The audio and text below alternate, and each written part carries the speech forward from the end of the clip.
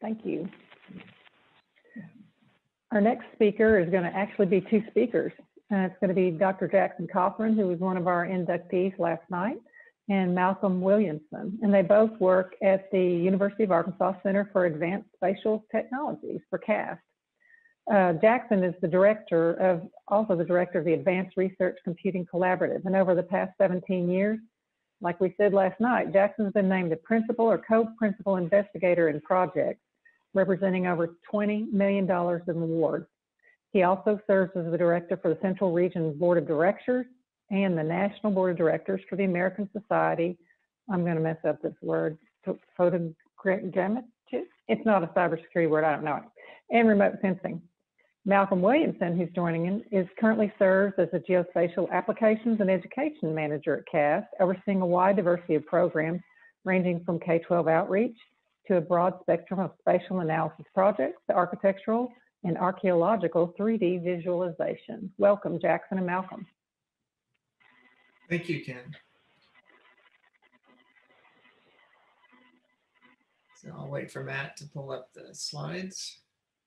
And we'll try something different here. We're going to try to let us take control of the slides and we'll see how that works, Matt.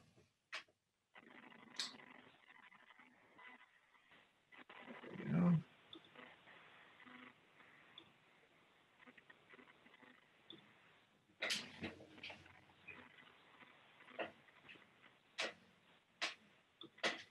Okay, well, I think I have control of this now, Matt. Can we?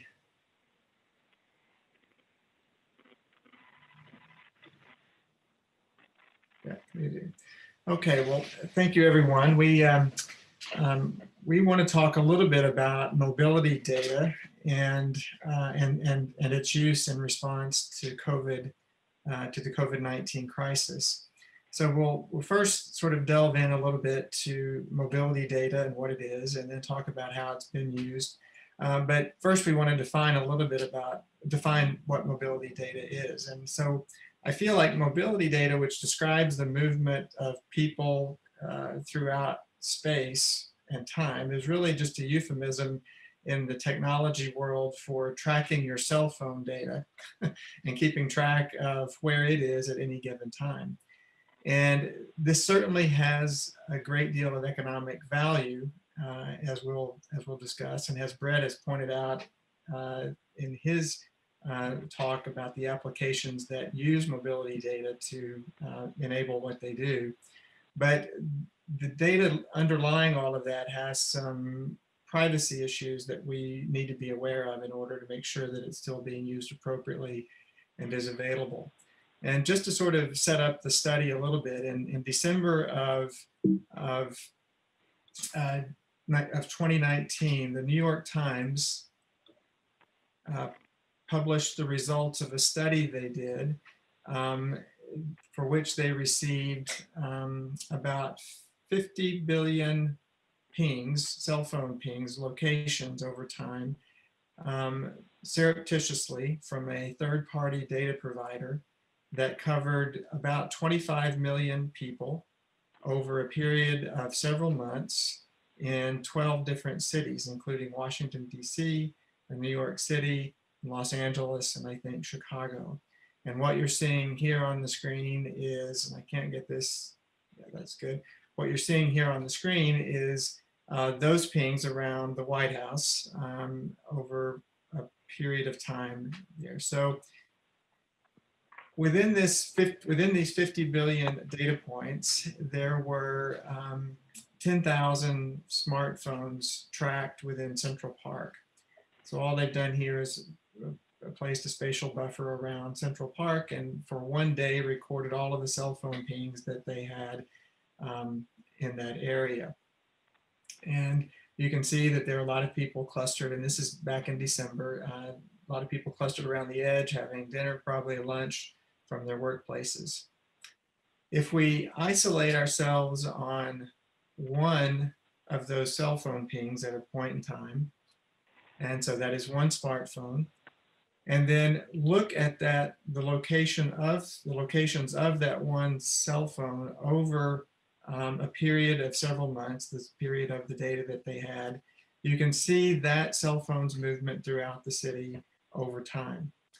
And the one aspect of, of spatial data, especially spatial temporal data, is that it is very difficult to anonymize for this particular reason. If you then apply the timestamps to these points and then build a track for that person over that same time period, you essentially get a diary of that person's life over those few months. And if you look at it a little more closely, where they are at night, where they are mostly during the day, where they spend most of their time, it's relatively easy using other data like address data or business listings to determine where that person lives and where they work and how their schedule varies from day to day. And so with reverse lookup, you can find that person's name and it's really not that difficult. The only anonymity that, that, that you really have out of this kind of data is its sheer volume and trying to find what you need out of that. But it can be done. And in fact, the New York Times demonstrated that they were able to identify cheating spouses, people whose schedule deviated from their normal route at particular times, and more um, of more concern, able to identify Secret Service agents' home addresses and their names in the data because of the DC level data that they had in the president's movements throughout the, the day at, at known events. So um, this data is being collected on us and being sold. Um, and several, there are several companies that are involved in collecting it. Now, it doesn't come from the telephone companies necessarily. It doesn't come from Apple, it doesn't come from Google, it doesn't come from the um, uh, operating system manufacturers, although they are collecting it and using it for their own purposes. But it largely comes from third party, um, third parties who develop software development kits that specialize in capturing location information and providing it to those apps. So many of the apps like Uber, like Uber, um, uh, like Waitr, like Uber, uh, the, the, restaurants, all of those things that you're seeing, will use a standard set of software to collect data. And as part of the agreement, uh, they provide location data to those companies, and these companies aggregate it to a variety from a variety of sources, and and and keep that. We don't know where the New York Times data came from, but they keep it. Um, but, but it was one of these companies in, in, in all likelihood. So one of the companies, um, let's see, Matt, it's not, one of the companies that we're uh, talking about is uh, that will that we know about is INRIX. They're a transportation provide provider. Uh, they they specialize actually in providing parking locations for vehicles, um, and are uh, actively involved working with departments of transportation, including the US Department of Transportation and providing data to them. Another company that we're going to look at that provides data uh, is SafeGraph. And this one had, this company has actually been very active since COVID, um, uh, since the COVID pandemic in actively providing free sources of data on movements of people for analysis. And we'll look at this a little more closely. Malcolm will look at it a little more closely as we as we move on through the talk. But let's go back to INRIX for a moment and look at that at that app. So it turns out that INRIX has a an iOS and an Android app that they provide. Um, and uh, let's see, Matt, there it is. I hope I didn't advance too far. So I downloaded it to, to see what um, downloaded to see what it would would look like. So it's a, it's a navigation app like you would find from Google or Apple or many other ways providers. But when you sign up for it, when you download it, they ask you to sign uh, to, to create an account with them. And this is exactly what they tell you in the two acceptance screens. We are going to collect uh, email address, username, password, your location, and search terms that you're using, your device model, your cell provider, um, all of the um, all of those things. And uh, by creating an account, you consent to our collection and use of your personal data. So um, you have to be aware of that. And this is, this is how they get a lot of the data that they use and then resell to other companies uh, for, uh, for work. Now, there's nothing wrong with that. And I don't mean to throw cold water on the economic impacts of having this kind of data at all. However, with um, privacy concerns in Europe in particular now, but growing in the US, um, we have to be very careful about maintaining anonymity, um, even in the face of this spatial temporal data that, we, that we're seeing. And one way to do that is that these companies don't provide raw data to people. They provide summarized data that allows you to do mobility analysis without seeing the individual cell phone information. So another example of that, and we'll use um, um, examples in this case from uh, Teralytics, um, and then we'll talk a little bit about Google and a little bit about uh, SafeGraph data.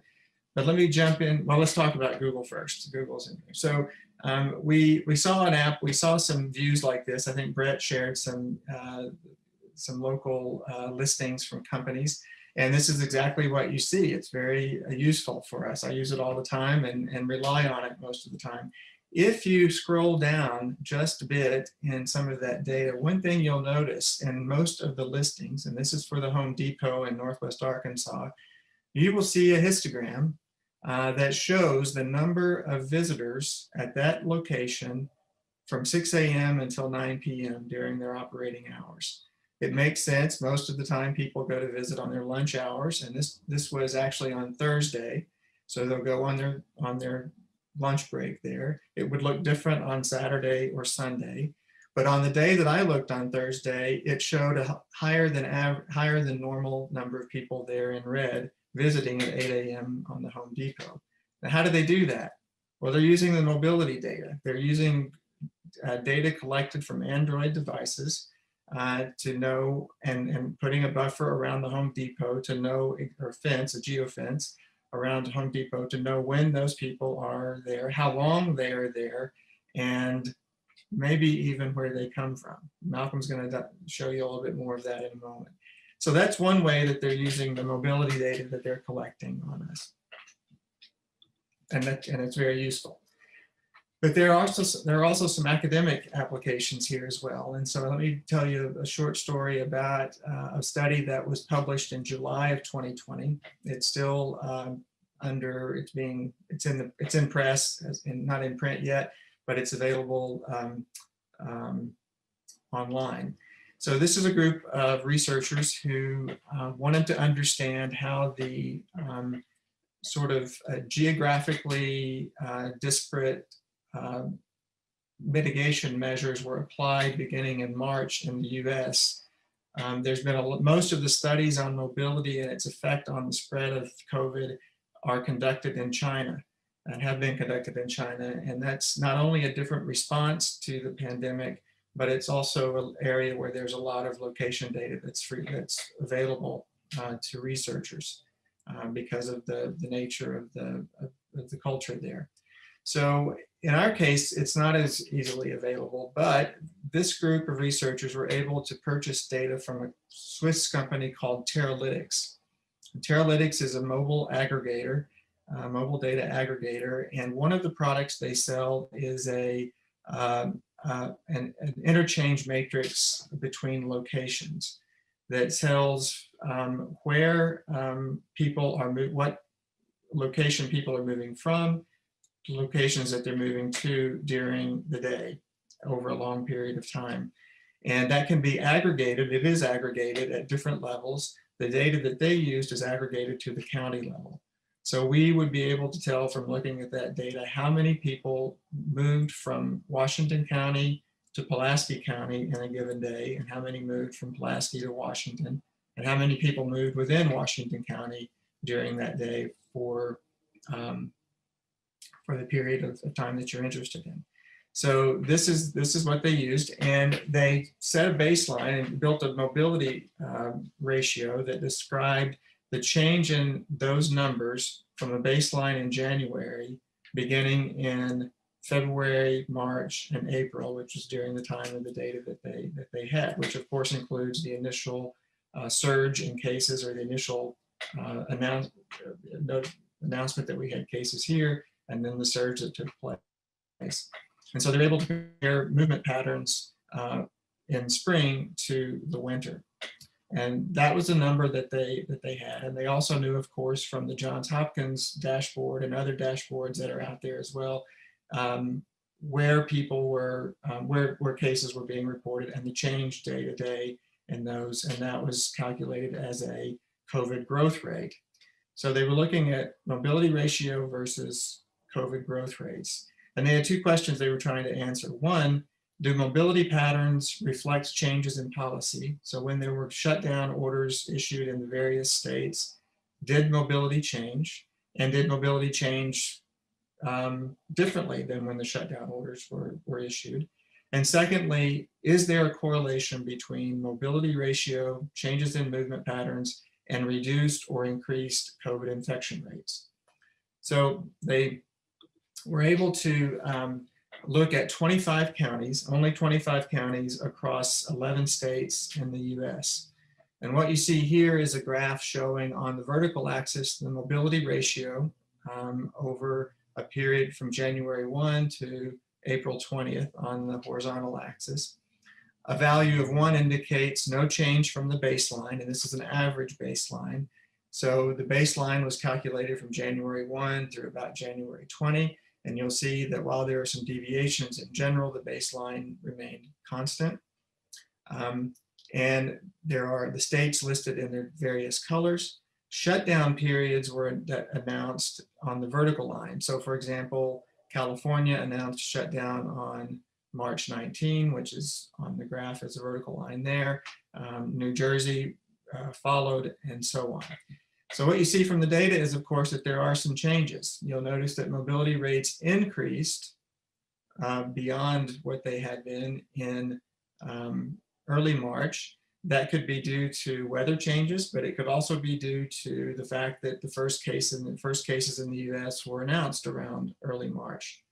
And then after that initial surge, people perhaps going out to shop and, and stocking up on toilet paper, it turns out, and groceries, that the mobility ratio dropped dramatically even before the shutdowns in every state, even before shutdown orders were issued. And they continued to drop as shutdown orders were issued and rose only a bit as people became uh, needed to go back out and restock in early April. So there is some strong signal in this mobility data that uh, reflects changes, group changes in behavior that can be um, um, related to policy changes. So that's an important finding. There is value in this kind of data, even aggregated and summarized as it is by Teralytics. The second thing they looked at was whether or not there was any correlation with COVID growth rate. So here's what, what you see here is a correlation coefficient between mobility ratio and growth rate on the vertical axis. So values from zero to one the higher the correlation, the more likely they change together. Um, if there was a correlation of one, then the, then the growth rate matched the uh, mobility ratio change for that time period. The horizontal axis marks the lag. So that uh, they, on if the lag is zero, they compared mobility ratio and growth ratio on the same day. A lag of one indicates that they looked at the change in growth rate a day after of, mobility ratio and so on.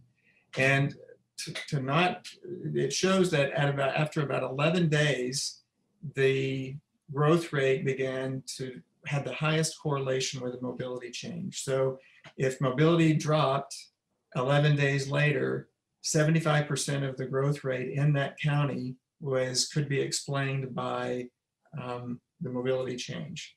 So there was significant correlation with a lag of the, the period of time that we um, uh, maybe would expect.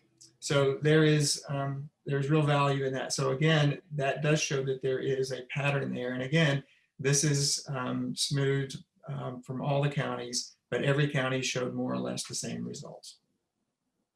So has some value there. All right, so with that, that's sort of the general overview. Malcolm actually went in and, and did some work and we downloaded some data to look at this for ourselves in Arkansas, and he's going to talk about some of the what we found and some of the work that we've been doing that will hopefully be published in the next few um, uh, weeks. Malcolm? Hi, great to be here with you all. Um, so I'm going to be talking about the mobility data some more, but I'm also going to talk a little bit about how, uh, how we generalize uh, these individual case data uh, to larger areas and use this for analysis and the problems involved with that. Um, as we aggregate uh, COVID case data to, to polygonal areas such as counties or states, it protects the, the anonymity of the individuals. It allows us to scale the analysis as cases grow. We're looking at, you know, almost 10 million cases in the US and over 100 million tests so far in the US. Um, but we also have to deal with something called the modifiable areal unit problem, which we'll look at in a second. Uh, I'm going to also show you some uh, some data that we worked with in Arkansas and Tennessee as part of a, an article that's currently under review that we co-authored with folks from UA, UAMS, and Oak Ridge National Lab. And we're also going to look at uh, some things that Uber has uh, just has picked up on that that gives some good solutions for them. Let's see, this is going to advance here. There we go. Okay, uh, this is a, a map that you've seen probably a hundred times so far this year, simply showing the number of cases per county here in Arkansas. And uh, we're just aggregating the individual active cases, in this case normalized by population, so we can compare apples to apples. Um, this is on August 17th, and this allows us to spatially and temporally compare data while protecting the privacy of the individuals. However, we also work with different uh, uh, scales of, of area. Um, you all are probably used to seeing this at, at, the state and county level, but we also often use census uh, subdivisions such as a block group, which is an area that typically has between 600 and 3,000 uh, inhabitants, or even a census block, which is basically the smallest area the census uses, which is defined by the intersection of natural and man-made features like roads, streams, and political boundaries. And so these may or may not have actual inhabitants in them, and you do have to worry about privacy at that level. So here we are, just as an example, looking at the population density in Knox County, Tennessee. And on the left side, the density has been aggregated to census block groups, which are the larger units. On the right side, we're looking at population based upon the census blocks, the smaller units. And if you look at the highest density areas, the dark red in the block groups, they're kind of grouped together towards the center of the county, whereas over the individual block level, you can see that there are high density areas distributed, you know, kind of all around the county, which are basically obscured when you look at it at that larger scale on the left. Another example, here's Washington County in Arkansas, and the same situation on the left block groups, on the right blocks, and on the left, we are not seeing those smaller areas that we can see on the right there, the block groups down in uh, uh, Greenland, I believe. And we know what's going on in the southern half of the county where, yes, there are people, where are they? So um, this is what's called the modifiable areal unit problem. Basically, the, the size of your uh, area that you're aggregating to affects how it um, how it works. This is the counties again. And let's pay attention to Washington County here. Uh, let's try that again. Uh, it's hanging up on me. There we go. Sorry. So Washington County, and you can see that we are at this point, August 17th, we're relatively low at 3 to 20 active cases per 10,000 folks. Now let's take a look at the same day with the data aggregated to zip code areas. And so now we can zoom in and look at Fayetteville. It says, there we go. So my zip code 72701 has less than 10 active cases. Whereas up in Springdale, same county, we're at 20 to 39 cases. So it's very clear that the scale of the area that you're binning to, that you're aggregating to, affects how you interpret the results, often in an important way. Uh, Uber, rather than using a you know arbitrarily sized areas, they are creating a, they're using what's called H3. It's a hexagonal uh, hierarchical spatial index where they're dividing the world up into hexagons. And this is particularly useful for uh, for analyzing dynamic movement. They're interested in where trips begin and end and where their drivers are. Uh, You've got equidistant cells that you're, because they're hexagons, you don't have to worry about whether you're looking at the corner of a rectangle. And um, these are indexed for efficient uh, operations and easier and faster analysis than just working with point locations. So this has been a, a big boon for their, uh, you know, worldwide uh, analysis. So now I'm going to flip over to looking at some of this mobility data again. So Jack talked about how Google uses this to show uh, when folks are, are uh, visiting certain stores and points of interest. They've made this data publicly available uh, since the pandemic, uh, aggregated to counties for the entire US. And so this is, we can see the change over time here. I've mapped these counties uh, based upon uh, the type of trips. We're looking here at trips to grocery and pharmacies. And down at the bottom, you'll see there's a timeline. I'm going to jump through uh, by a, a week or so at a time. So here, uh, and by the way, so zero means that you're at the baseline you know, average mobility at these different locations. Purple means higher, dark red mean or brown means lower. So here in February 14th, things are just kind of random. Jump up to the 21st. Um, well, we see a little more movement in the north there. But by the time we get to the 28th, as Jack mentioned, this is when people became aware that there was possibly a pandemic coming that was going to affect our country. And so people are going to stores and pharmacy trips and buying toilet paper and groceries in large quantities. And so March 6th, still going on. March 13th, still going on. March 20th, oh, it's starting to go down. And by the time we get to the 27th, we are in lockdown mode and everybody is staying home. We keep on advancing a little bit and we see that in the more rural counties of the state where they had yet to see any cases, people are starting to venture back out to the stores. Now I'm going to over and look at uh, the uh, mobility data to parks. And so again, back in February, middle of February 14th, uh, yeah, people are going to parks and probably depends on the weather and where the parks are. I have to mention that there are less counties that have data for this, uh, for the park trip. So there's not going to be as much showing up here. So in this case, green means more trips. And so February 28th, we probably had weather turn nice. And then 13th, everybody stayed home. So again, this is after the first case in Arkansas was announced. And the interesting thing is, as we start to move forward again, people in the Northwest are going, hmm, maybe uh, outside is an okay place to go. Hmm, Different, different behaviors there. And in it's April 24th, and you see more people going to parks in the state. Second, again, more people, even down in Pulaski County. And but by July 3rd, people have realized that being outdoors is probably one of the safer places that you can be. And this, this behavior has continued all the way up into September. So we're going to look a little deeper at the uh, SafeGraph data as well. Um, we downloaded uh, uh, three different categories, limited service restaurants, drinking establishments, and full service restaurants in West Arkansas. Uh, and uh, looking at about $200 worth of data for, for 982 records showing the points of interest and the patterns uh, tied to those points of interest. And so some of the things we look at is how long do people stay at each of these locations and some other things as well. This is the uh, data set that we purchased. And so, as I said, three uh, subcategories of types of, of uh, establishments. And if we zoom in, this is on Martin Luther King in Fayetteville. and You can see what we've got. You know, we've got um, bright green ones are uh, full service restaurants allegedly.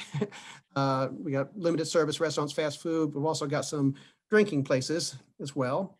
And so besides having the locations, we've also got information about where the visitors come from. Now, these are aggregated to uh, census block groups as we looked at before. Um, and this table, once I expanded it to basically normalize it for each one of the locations from 982 records, we go to 40,000 records. So if you think about, you know, these data for the entire country, this can be a very, very large data set. And this, by the way, this data is for the month of October only. So uh, this is looking at median dwell time. I've jumped up to uh, Sunset in Springdale, and we're looking now at limited service restaurants. So the small ones, we're staying at less than 15 minutes. And uh, some of them 30 minutes and a couple of them maybe up to 60 minutes if we're dining in. But you can see these are fast food restaurants. Mostly people are picking up and, and leaving. Compare those to the full service restaurants, and now we see many more where people are staying 30 or 60 minutes. But if I zoom into downtown Springdale here, I can see that even though I'm downtown, I know these aren't drive-throughs. I've got several locations that are full-service restaurants where people are staying less than 15 minutes. So what we're probably looking at is places that are doing carry-out curbside service only. And finally, if we look at our, at our drinking places, alcohol here, um, notice that we've got several where people are hanging out. The median dwell time at a couple of these locations is more than two hours.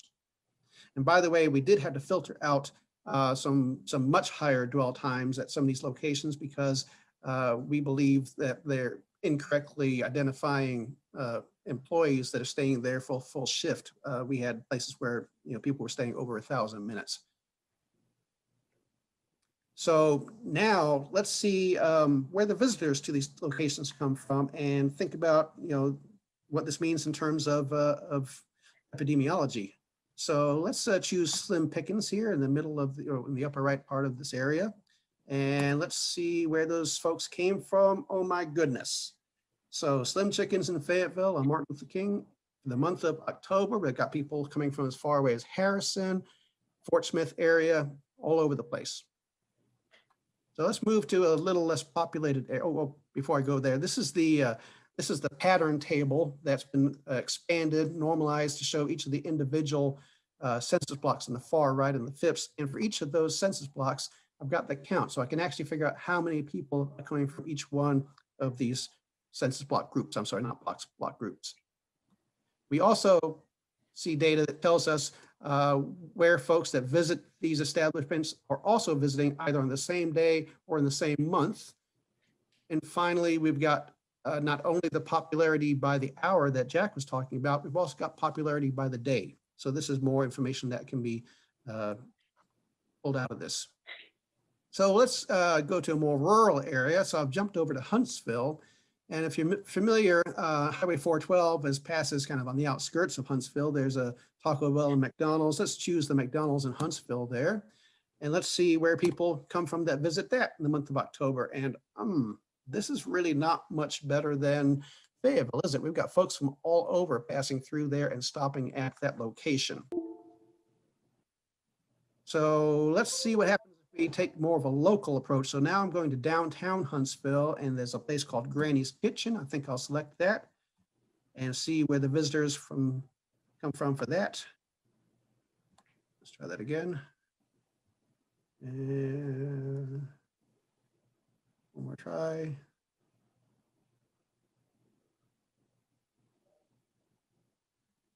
Matt, can you advance that one slide?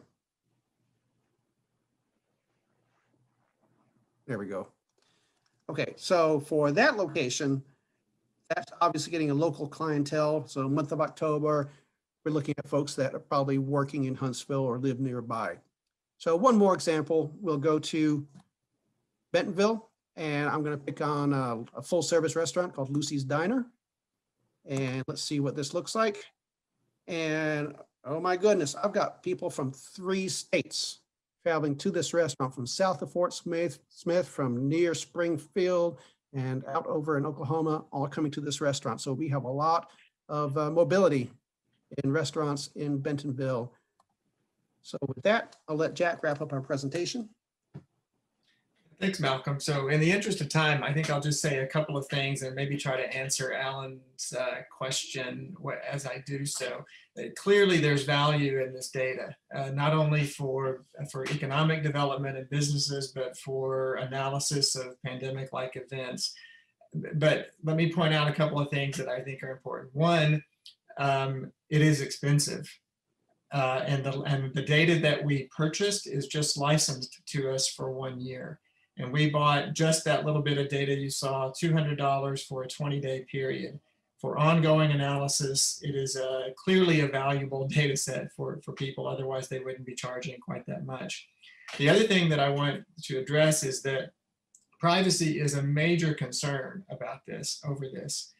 And uh, several companies are taking steps towards limiting the, the um, uh, and governments as well, but companies are taking the steps to limit the, the, what you get out of this. And let me use one example. In iOS 14, I think it was 14, Apple um, expanded the number of choices for sharing location data to four, from three to four. Originally, they had don't share your data at all. Um, say from Weather Channel, you get to choose by by uh, by app. Don't share that data at all. Only share the data when the app is active, or share the data when the app is running in the background. The fourth option now is to share the data, but to share it uh, obfuscated. So they randomly move your location within a 10 mile radius, or I don't know what the value is, but you can share sort of your approximate location and randomly generated. Now that has an impact in, in for you, but it also has an impact on data like this and how we analyze it.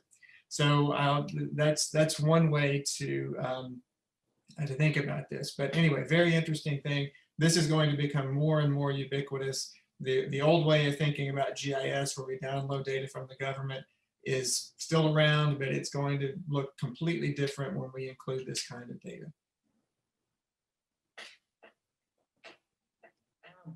Thank you to you and, Thank uh, you. yeah, this was great.